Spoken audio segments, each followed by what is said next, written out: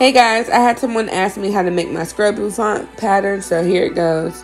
All you will need is a head, some scissors, a rotary cutter, pencil, marker, and measuring tape. So now what we're going to do is we're going to measure from the middle of the head to the nape of the neck. I got 15 inches, but I'm going to add an extra 2 inches just because we don't want the hat to fit snug to our head. We want to have a little bit of room.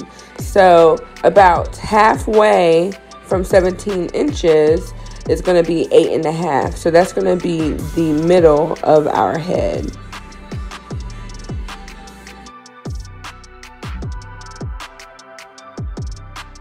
So I'm going to grab Stacy and show you that the top part of this is going to be from your forehead to the middle of your head, and then the rest is going to be from the middle of your head to the back. So you're going to take the middle of your head and measure it to your ear. I got about seven inches, but I'm also going to add an extra two inches just because, again, you don't want it to fit snug to your head. So from the nine inch mark, make sure you move both hands, otherwise it's going to bend unless you're using a straight ruler. So keep your finger on the 9 inch mark and just shift it a little bit and make a mark. And just keep it at the 9 inches all the way up until you get to the first marking that we made. So now we want to split the bottom half down the middle. So if you go from the top corner of this middle line all the way down, then you'll see where the middle is going to be. So now we're going to measure Stacy's nape of her neck. She has four inches, but myself, I have five inches, and it's been working for everybody else. So I measured the five inches, and then from there, we need to connect from the rest of the circle. So it's going to be about three inches to connect it.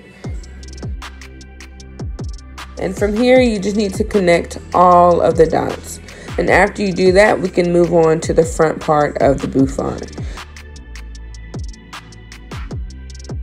So you'll measure from the top of the forehead to about the middle of the forehead. Everybody is different. Some people got big foreheads, but two and a half inches has been working for me. So I'm going to measure two and a half inches and then we'll measure from the middle of the forehead to the ear, which is going to be about seven inches. So I will add one inch to make eight inches just to have more space.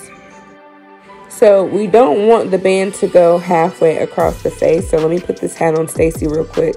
As you can see, it goes from big to small. So we're to make an angle from the top part of that two and a half inches down to the eight inch mark. And it's to be about half an inch up.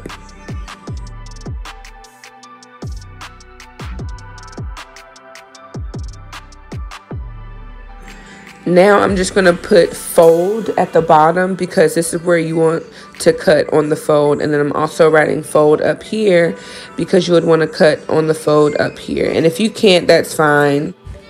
I forgot to show you, if you want to make it bigger for those who have a lot of hair, all you have to do is extend this line. You only need to extend this horizontal line. Do not mess with anything down here. Just extend this line.